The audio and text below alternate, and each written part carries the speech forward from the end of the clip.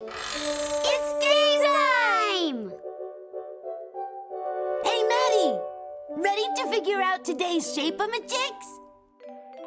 Oh, yeah, oh, yeah, Zeke. I always love watching those tricky shape-a-ma-jigs. Let's do it.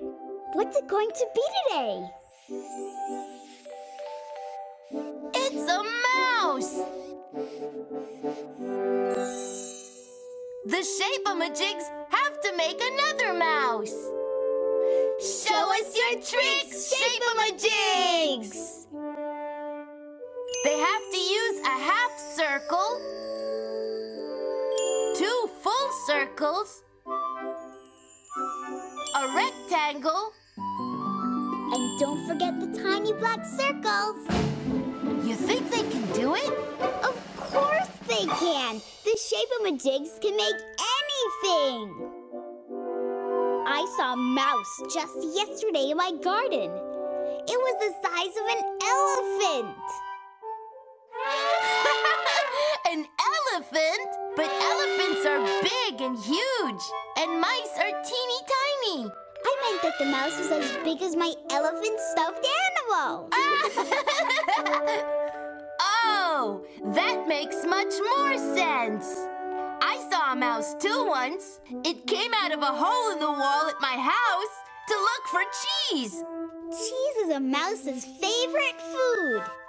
I know. The mouse in our house would make itself grilled cheese sandwiches. Mice don't eat sandwiches, they eat plain cheese.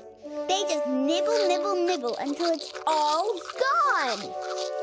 Zeke, did you know that some people keep mice as pets? They're kind of like hamsters, but have bigger ears.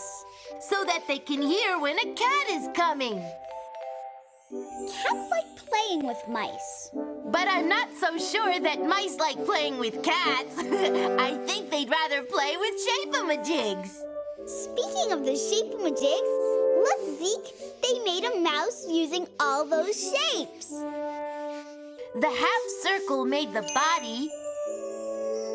The full circles made the ears. The rectangle made the tail. And the tiny circles made the nose and eyes. Nice work, Shape-a-ma-jigs. You did it again. You can make anything.